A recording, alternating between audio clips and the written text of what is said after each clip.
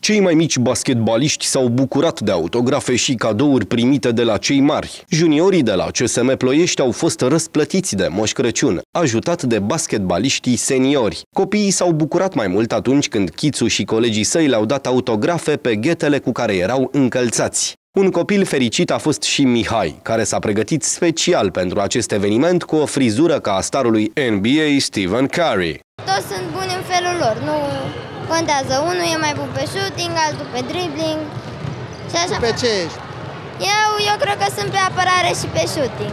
Fetele și băieții mai mari de vârstă s-au pozat, au socializat și au aruncat la coș împreună cu cei de la care, susțin ei, au ce învăța. De la echipa de la noi toți sunt foarte buni. De moșul ți-a plăcut? Normal. De ce? Vedeta serii. Avea barba cam mare? Contează. Moșoare barba cât vrea.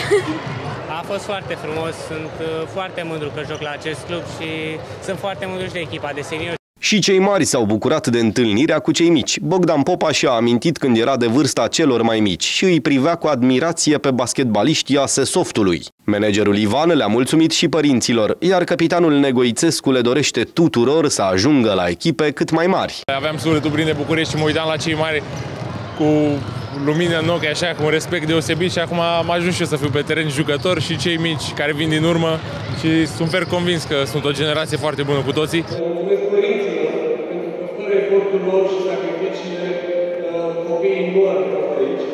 Vreau să vă rog să munciți pe